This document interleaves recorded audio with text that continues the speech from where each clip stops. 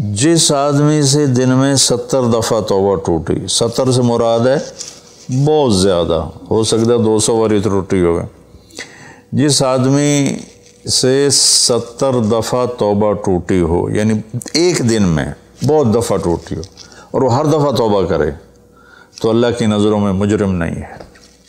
एक गुनाह करे और पक्का हो जाए विखी जैसे सारे करंदे पहन मैं कर था की हो गया। ये बड़ा ख़तरनाक जा रहा है। ये नहीं छूटेगा। लेकिन जो गुनाह करके रोता है, एक आदमी मेरे पास आया। दो तीन दफ़ा आया, फिर तो मुलाकात नहीं रही। शराब की आदत थी। तो इतने सदमे और अफसोस के साथ मुझसे कहता, मेरे लिए दुआ करें मुझसे शराब छूटती नहीं। और एक दिन तो इतना रोया इतना रोया, उसकी चीखें निकल गई।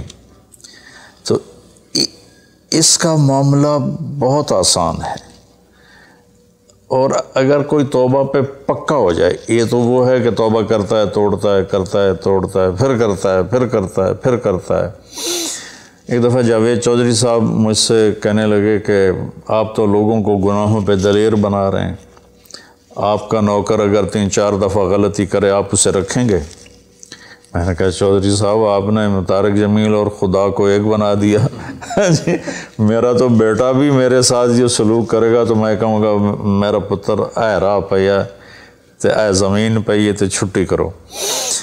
तो मैं तो अपने बेटे से गुजारा नहीं करूँगा, उसको फारिग कर दूँगा। तो वो तो नौकर तो बड़े दूर की बात है, वो अल्लाह है, जिसकी रहमत, उसने खुद रहमती रहन रहमती वसीत कुल्ल शे कहता मेरी रहमत ने हर चीज़ को घेरे में लिया हुआ है।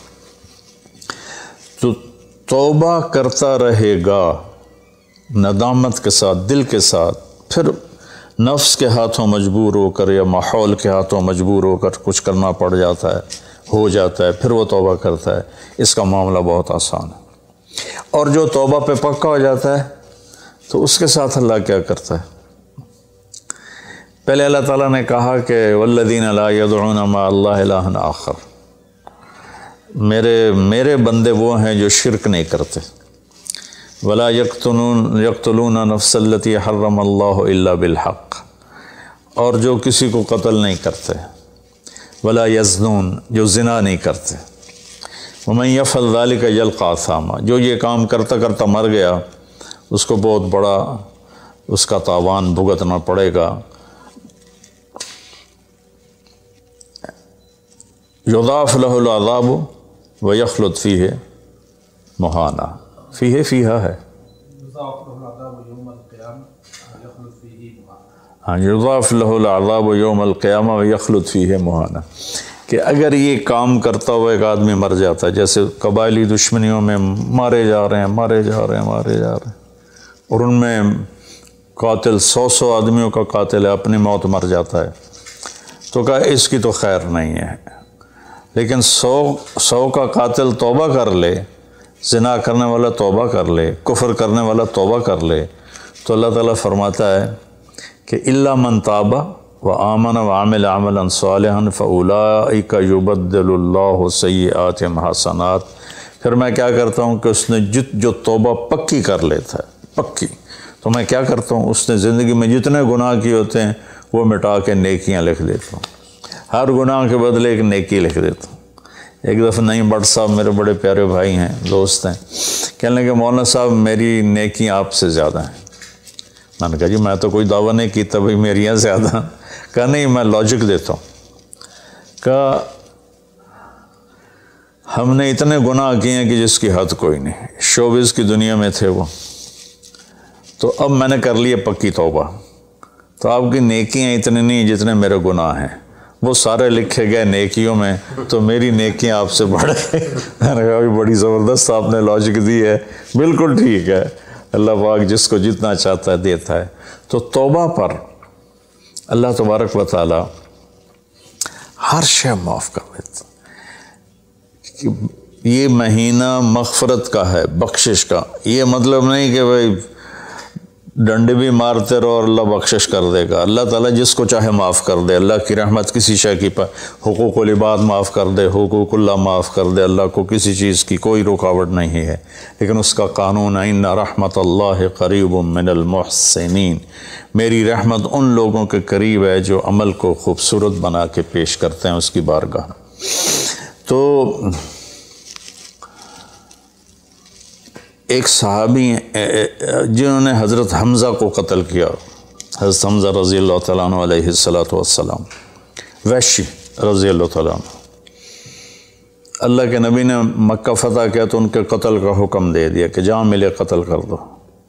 तो वो भाग गए ताइफ। उनको किसी ने कहा, जो आके कलमा पढ़ लेना, उसको माफ़ कर देते और जो आके माफ़ी मांगे, उसको माफ़ कर देते तो कहने लगे, मैंने मुँह छुपाया और चुपके चुपके रास्तों से मदीने पहुँचा। अल्लाह के नबी मस्जिद में ऐसे अपने ध्यान में बैठे थे। मैंने कहा अशद अशद का रसूल तब ऐसे हुए। तो उनका चेहरे से कपड़ा हटाया। तो कहने का मुझे अमान चाहिए, अमन चाहिए, मैं मैं मैं अमन का तलबगार हूँ। तो आपने फरमाया अवाशियन अंता, तू वशी है? कहा जी हाँ का मेरा दिल तो था कि तुम मुझसे अमन तलब ना करता और मैं तेरी गर्दन उड़ा देता। लेकिन मेरा रब कहता है कि वैन अहदमिनमशरकिन अस्तजारक फ़जर हो हती यसमा कलाम अल्लाह। अगर कोई आकर मुशरक आपसे पनाह चाहता है तो उसको आप पनाह दें तो तुझे पनाह है, कुछ नहीं। बोल, बैठ। तो कहने लगा, मेरे कुछ सवाल हैं। आपने कहा, क्या? फिर कहने लगा, मुझे अमन तो है ना, मुझे कहेंगे तो कुछ नहीं आपने कहा, नहीं, कुछ नहीं कहता। आपका रब कहता है, जो शिर करे, कत्ल करे, जना करे, वो जहन्नुम में जाएगा। जो मैंने अभी आयत पढ़ी तो मैंने तो ये सारे किए हुए हैं। तो क्या मेरे लिए गुंजाइश है? आपने कहा लगा मन ताब व आमना व आमिल आमल सालहन उलाक युबद्दुल्ला सयात हसनात। फ़कान अल्लाह गफ़ूर रहीम।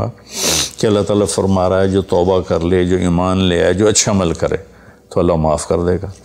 वो कहने लगा, ईमान भी लाऊँ, तौबा भी करूँ, अच्छे अमल भी करूँ, ये तो बड़ी सख्त शर्तें हैं। कोई और आसान इससे रास्ता है?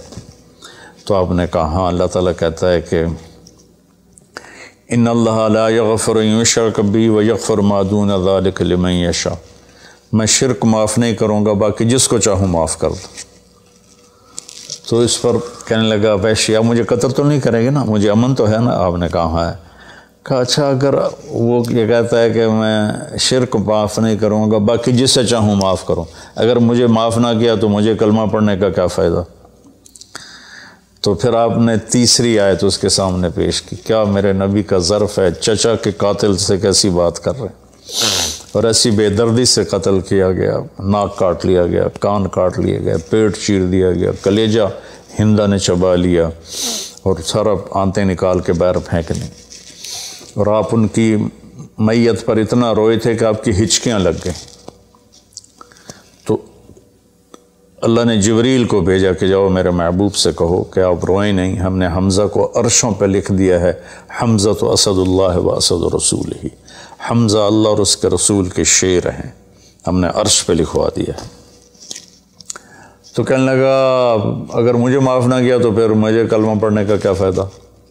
तो फिर आपने तीसरी आयत तो उसके सामने पेश की। या इबादी अल्लादीन असरफ़ वाला अनफसम ला तकना तुम रहमत इन बजमया इन वलगफ़ुररहीम ए मेरे नाफरमान बंदो कितना प्यार से बुलाया नाफरमानों को और मेरे कहा मेरे अब आदमी सगी औलाद को कहता तो मेरे चो नहीं जमे आए जब वो नाफरमान हो जाए तो वो अल्लाह ताला काफरों से कह रहा है नाफरमानों से कह रहा है ए मेरे नाफरमान बंदो जिन्होंने अपने ऊपर जुल्म किया तुम घबराओ नहीं तुम तौबा करो मैं सारे माफ़ कर दूँगा कहने लगा हाँ ए गल ठीक।